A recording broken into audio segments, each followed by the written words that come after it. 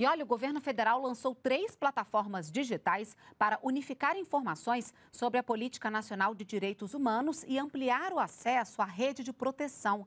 As novas ferramentas fazem parte da Agenda Brasil para Todos.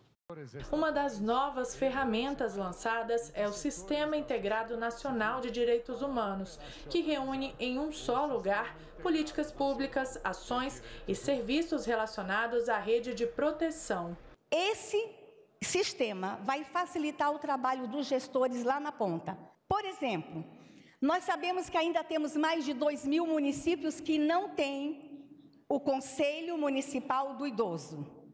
E sabemos que mais de 3 mil municípios não têm o Fundo Municipal do Idoso. Agora, com esse único sistema, os senhores poderão acessar e ter todas as informações de como ter o seu Conselho Municipal do Idoso e seu Fundo Municipal do Idoso. Também como parte da Agenda Brasil para Todos, foram lançados o portal das organizações da sociedade civil e a Escola Federativa. Essas ferramentas vão disponibilizar conteúdos gratuitos sobre direitos humanos e promover a capacitação de servidores e agentes políticos municipais.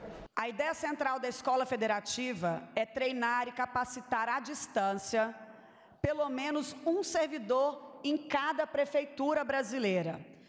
E esse servidor terá a responsabilidade de dividir esse conhecimento operacional com os vários setores das administrações municipais, tornando as prefeituras mais modernas e mais conectadas com os vários programas federais. O presidente Jair Bolsonaro participou da cerimônia e destacou o trabalho do governo federal para implementar iniciativas inclusivas. É um governo realmente que demonstra com ações que é cada vez mais inclusivo. Para acessar as novas plataformas lançadas pelo governo federal é só entrar no gov.br.